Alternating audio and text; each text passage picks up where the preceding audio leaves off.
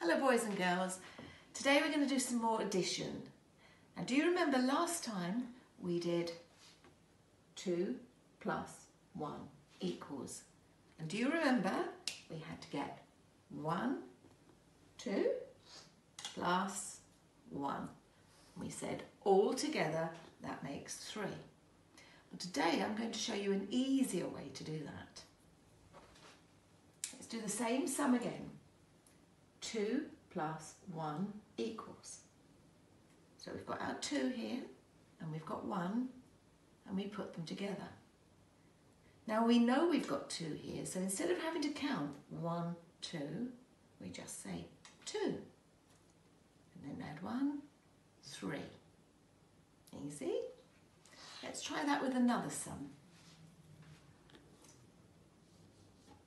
Let's try 3 plus 1.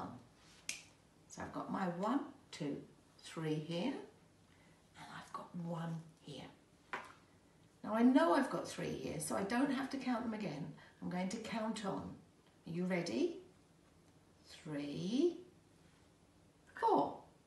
My answer is 4. Let's try it with another harder sum.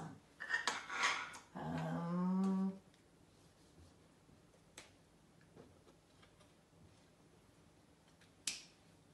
four plus one equals. So I've got one, two, three, four here, and one more. Now I don't have to count that four because I know I've got four there. So I can say four, five. Let's try it with one more.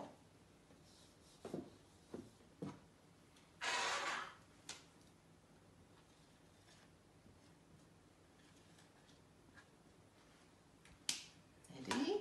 It says 3 plus 2 equals. So I get my 3, 1, 2, 3, and I get my 2, 1, 2. Now I know I've got 3 here, so I don't have to count them again. So I'm going to count on three, four, five. My answer is five. And that's the easy way to count on when you're doing addition.